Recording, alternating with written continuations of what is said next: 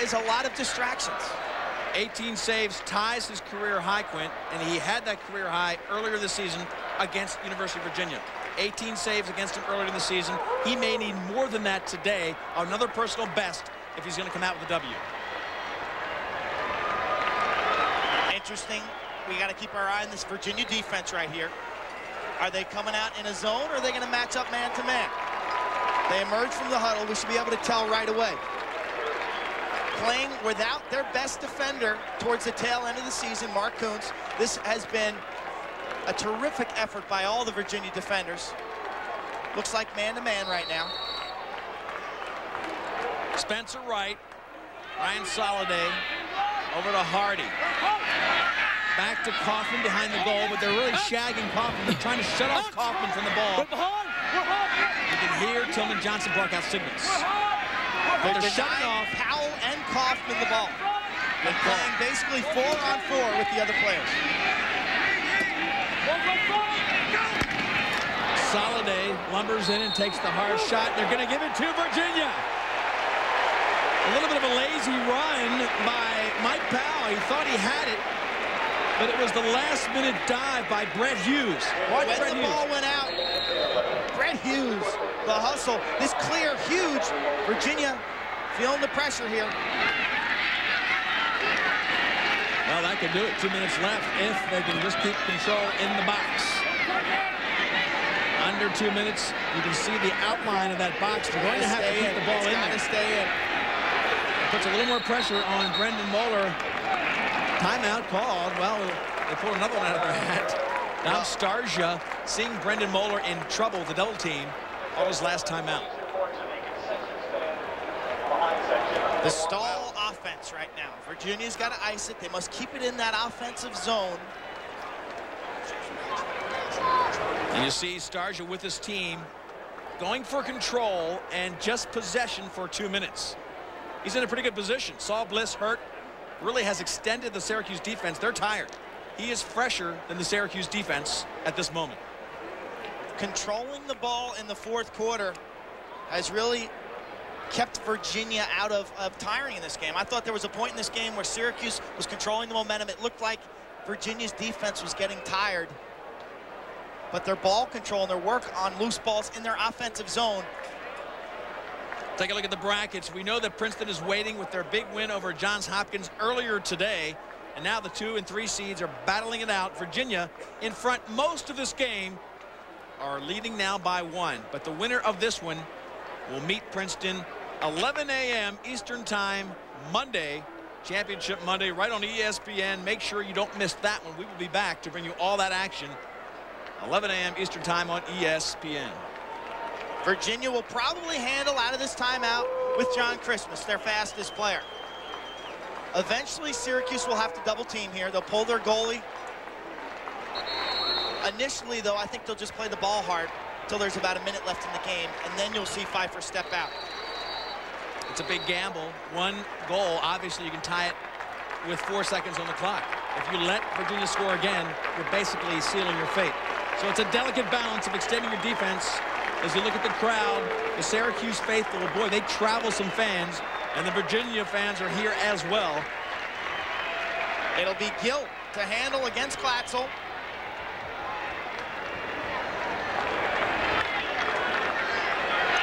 Ball's the top of the screen as they pick it up. They've got to get it inside the box, and they will be warned. Glatzel, Gill, the marquee matchup. Conor Gill, the MVP, several years ago. Gill trying to buy a call. Good luck trying to buy a call now. Glatzel getting set to go for the takeaway check. Trying to get him on the end line. He doesn't get it.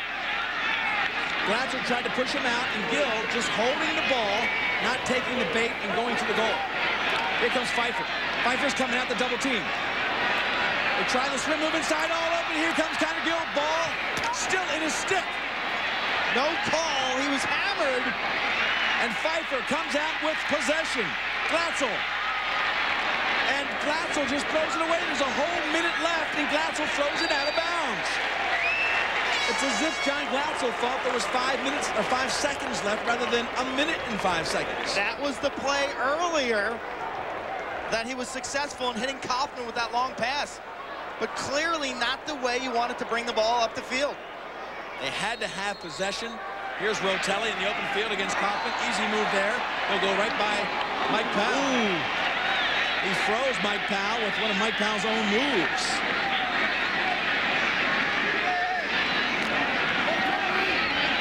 Rotelli will carry behind. Christmas is open in front. He's got Pfeiffer on him. Virginia smelling victory. An upset. It would be the two seed against the number three seed of Virginia Cavaliers. Syracuse gets it back. Here comes Hardy out of the box. They've got a chance for another shot. Hardy in close, takes a shot, and Hardy ties the game at 11 with 25 seconds left. The power move of Tom Hardy made it look easy. It was a four-on-four 4 situation. Hardy, with a little confidence, split dodges right to left and nails the corner on a shot Syracuse had to make. This is perfect placement. Overhand nails the corner. No fault to Tillman Johnson's. Terrific jump shot by Hardy. Nails the corner. Huge face-off coming up. Going to the face-off circle. Virginia sends Jack DeVilliers in there. He's been doing that as a specialty all year long. Syracuse squirts it out, but check from behind. Whitty gets a stick on it. Timeout called by Syracuse when they had it in their stick. They will have 11 seconds to win it in dramatic fashion. Virginia has to be absolutely emotionally drained. The game was theirs and somehow slipped out of their fingers in the last 10 seconds. They still can win it, but Quint emotionally tough to come up to this defensive stand. Here's Hardy picking a good time to isolate. He knows that the defenders are locked on their man, so there's going to be no double team. I mean, who's going to leave Mike Powell to go cover Hardy? Nobody. He realized that, dodged effectively, and nailed the shot. Truthfully, Tillman Johnson's been a wall in the fourth quarter until that shot. Both Johnson and Pfeiffer have played about as well as you could expect in the goal. Strategy right now. Syracuse will come out with a set play. You've got to imagine it'll start with either Coffman or Powell and end up with a shooter like Mike Springer. They'll have a chance to set it up. Actually, perfect amount of time. 11 seconds, enough to get off a shot. Not enough to go down the other end for Virginia to get one on their side. 11 seconds is enough for Powell to push to the net for himself or Coffman, or draw the double team and maybe get one or two passes and then a shot. No rush with 11 seconds. Up top, Trey Whitty playing long stick defense on the inbound. Trey Whitty set to the left of the screen. Whitty playing defense. Big power move up top. They get it down low. Brian Nee, but it's Tillman Johnson with a huge save. Brian Nee got the shot they wanted, but Johnson pegged it. Syracuse went in the 1-4-1 set. Virginia was in a zone. Nobody bumped out to cover Nee. He got his shot, and Tillman Johnson makes his 15th save and the biggest of his career. An emotional lift for a team that was down for a moment. Syracuse almost pulls it out. Nifty move up top. Dump it down to Brian Nee. Open shot, and Johnson just turns it away. Syracuse scored that goal with less than half a minute to tie the game and send it to overtime. We'll be back with OT from Rutgers.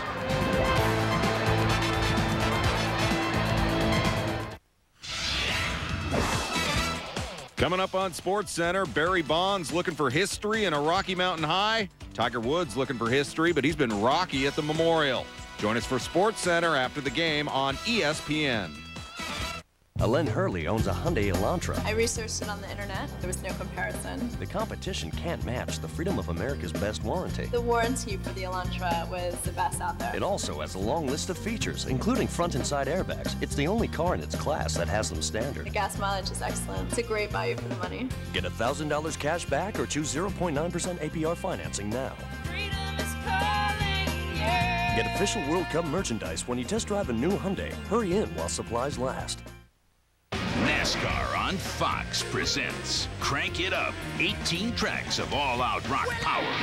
Crank It Up with fuel-injected covers from Les Claypool, Slayer, Hed PE, and Buckcherry. Plus remixes and brand new songs from Slipknot, Rob Zombie, Staind, and Tantric. All tracks available only on this adrenaline-powered collection. Crank It Up. In stores now. We're back at Rutgers Stadium. Leif Elsmo, Quint Kessenich, Steve Cyphers on the sideline as we look at Virginia. Van Arnsdale, the new coach to the right. Dom Starsia, head coach with a V on his hat. This team played an inspirational game. Got off to a 3-0 lead. Had the lead and the ball with 30 seconds to go. A little infraction gave it back to Desko, Johnny Desko and his team. They scored with less than 30 seconds left. And now we go to OT. The winner of this will play Princeton on Monday morning at 11 o'clock. Overtime rules, Q. Four minutes will play. Sudden victory or sudden death, depending on which way you like to think about it. Each team gets one timeout. If this faceoff is won and the team carries into the offensive zone, don't be surprised if a timeout is called immediately. Face-off is what it's all about as they scramble for possession. Villiers can't get it. Finally does.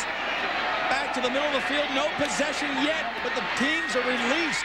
Finally Syracuse, and they'll call a timeout. You can tell the intensity of the work for the loose ball, how important the possession was. Johnny Desko burns his timeout. They want this shot to count. This is how we got to overtime.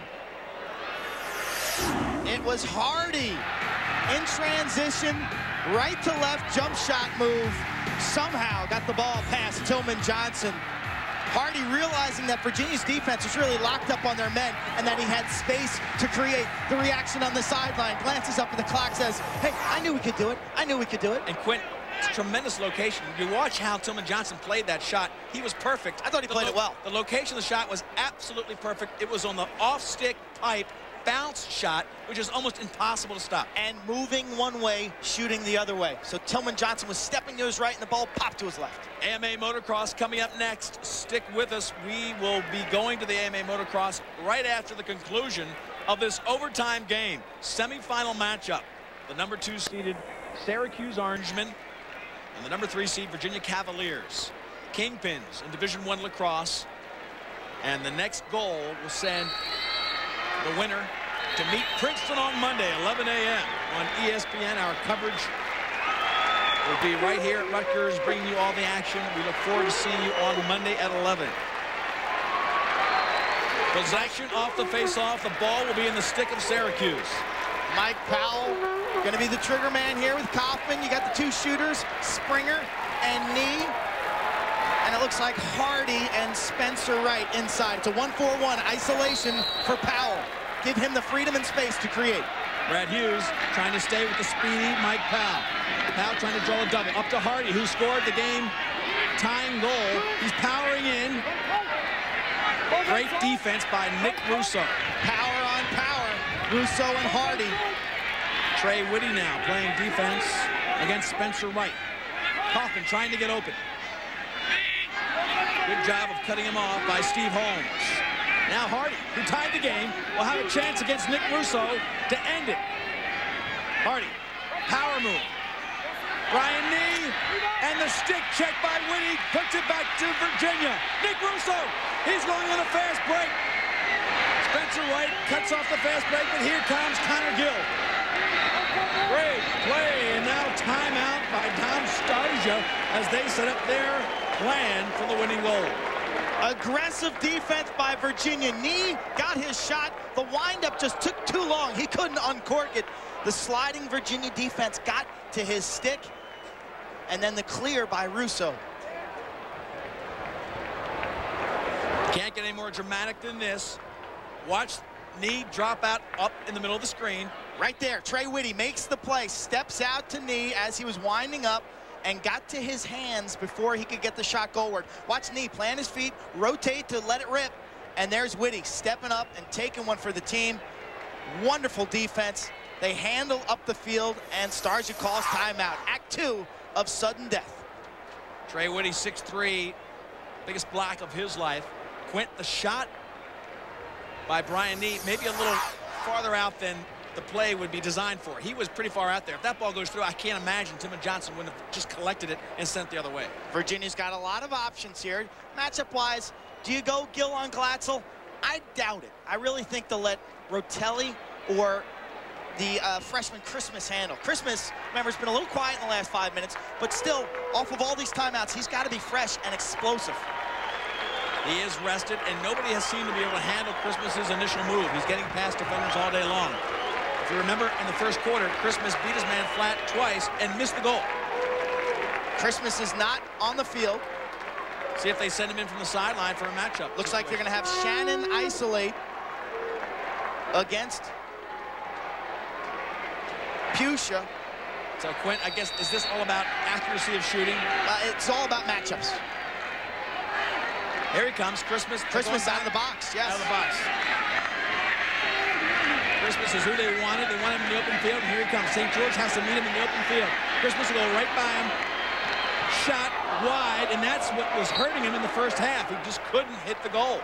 He can get to the spot for the shot.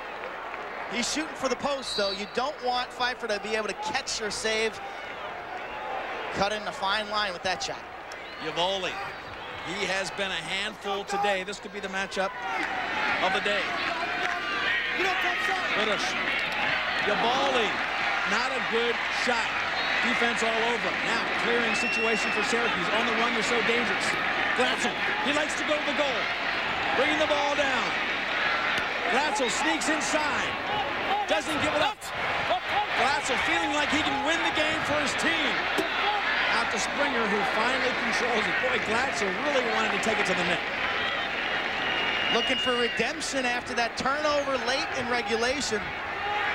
Glatzel sniffed that one out for a while.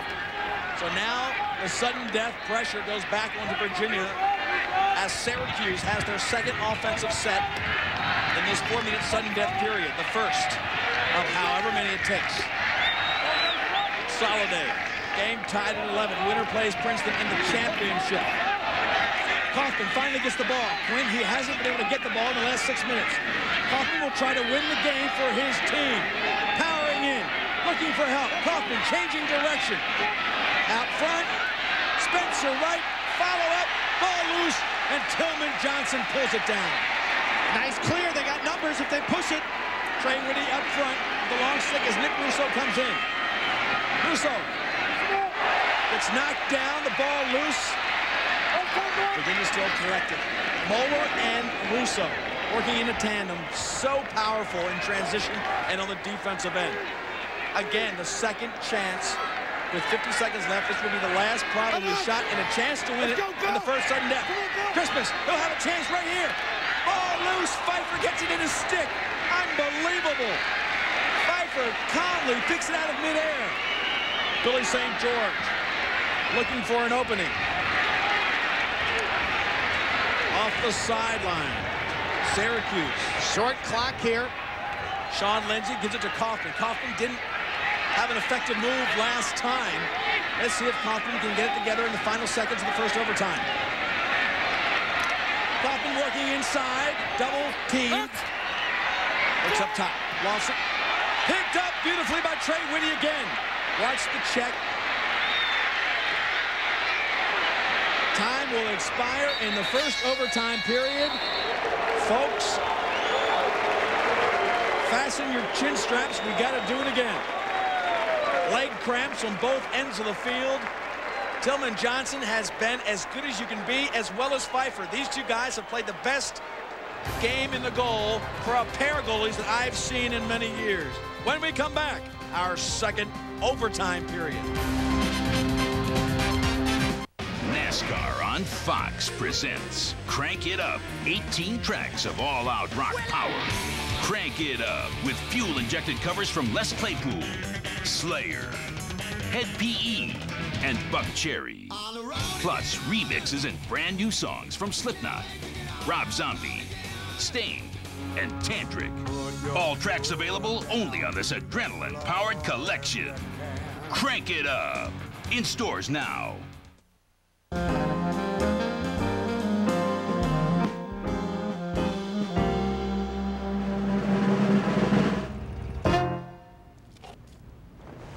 That was an incredible two-day solid jazz marathon. And now, by request, here's another two-day marathon. The Suzuki Intruder LC 1500. You'll do anything to keep riding. Visit your local Suzuki dealer and get $300 cash back or low APR during Suzuki Summer Sizzler event.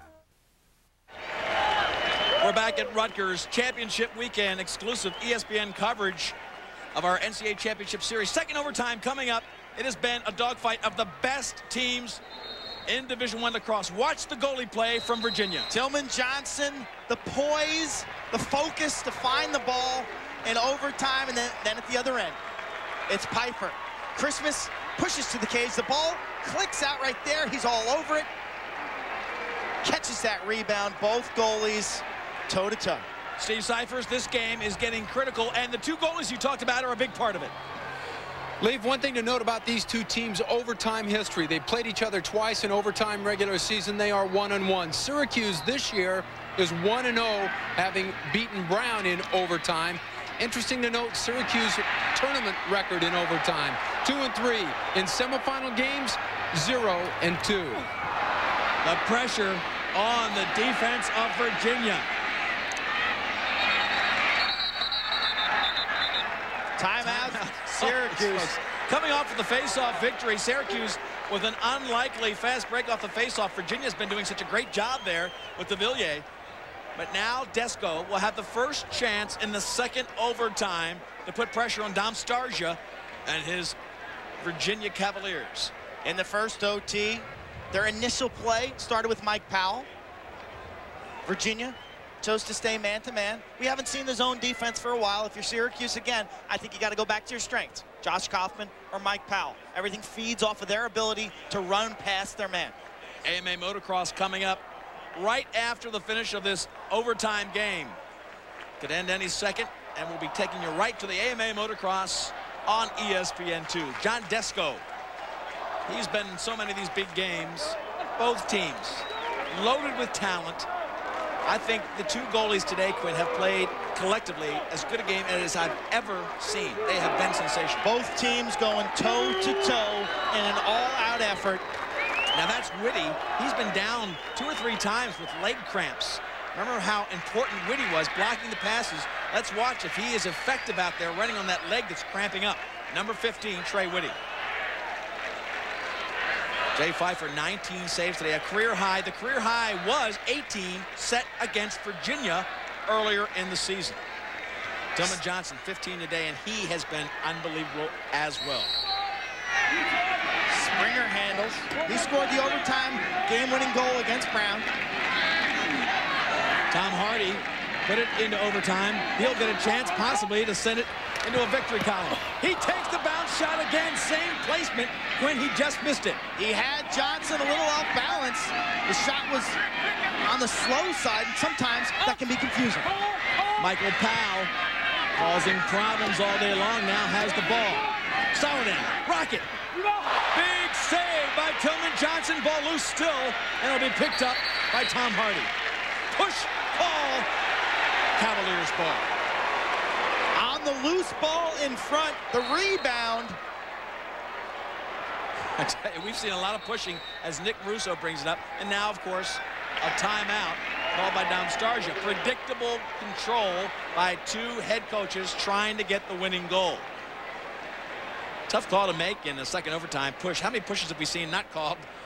And uh, it was a good call, but I tell you, this game has been very physical late and in the overtimes. They've had a lot of different mixes.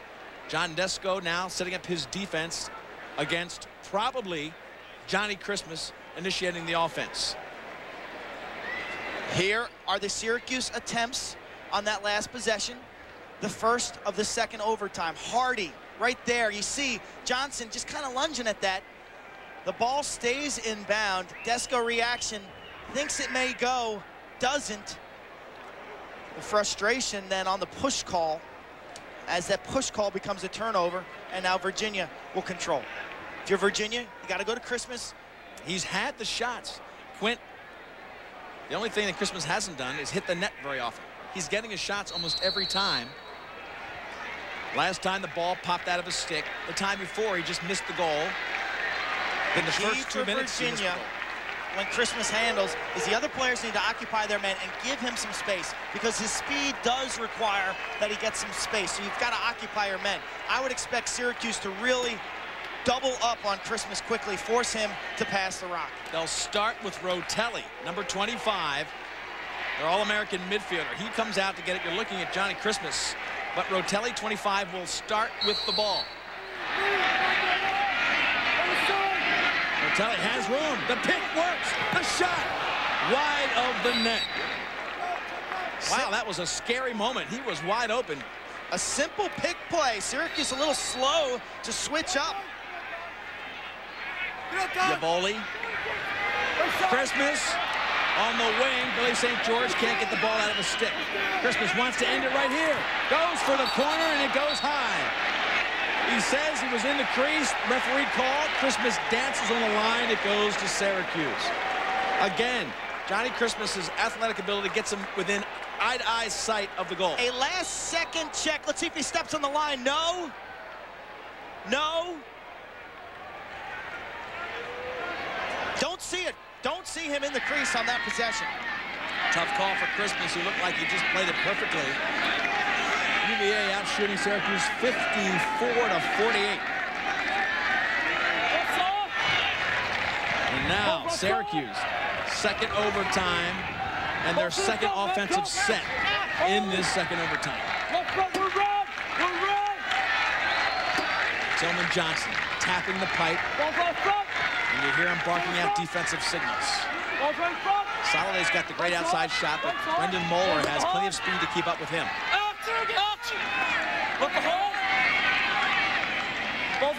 Mike Springer. Gives it to Hardy, who has really turned out to be the matchup. Hardy against Nick Russo, and Hardy gives it up. Brian Soliday likes his left hand. Let's see if he goes for it. Brendan Moeller will go across the back of the goal to Coffman. Coffman definitely has enough leadership and veteran experience that he wants to end it. He wants to take this team on his shoulders. Coffman pressuring in. Springer with the big gun. Hughes hanging tough. Hughes hanging tough on that defense. Springer inside, misses the mark. Ball tip, but stays on the thick grass. 106. Coming down, second overtime, Coffman. Tewaaraton trophy finalist. Turns and fires. Powell picks it up. Tries to get it back to Coffman, can't do it. Will it stay on this half of the line? It does. Hardy picks it up. Can Hardy get momentum right here and go right to the cage? Hardy with a little bit of room against Nick Russo. How many times can you ask Tillman Johnson to bail you out? That was a serious save. Hardy's got a little bit of rest now. Takes Russo to the cage, reverses space, comes back, fakes high, goes low. Hardy single-handedly wins it against the Virginia Cavaliers. What a game for Tom Hardy, and what a tough loss for Virginia and their sensational goalie, Tillman Johnson. He was left to hang out to dry with a great move behind the goal. Hardy coming in. Only 12 goals on the season, but he was a senior. And I guarantee that's why Coach Desko put him on the field. Scored the game-tying goal with 25 seconds to go. Syracuse wins in double overtime, and they get the right to meet Princeton in the finals. Virginia, what can you say? They were good enough to win. They just didn't get it done. Watch that move right there. That was the move that made it. Fake, high, go low. Hardy with a great final 15 minutes of this day. Game-tying and game-winning goal. A midfielder behind the net. He hangs his defender up. There's no help there defensively. The reaction shot, on the sideline. Four years in a row, that man, John Desko, is going to the finals. The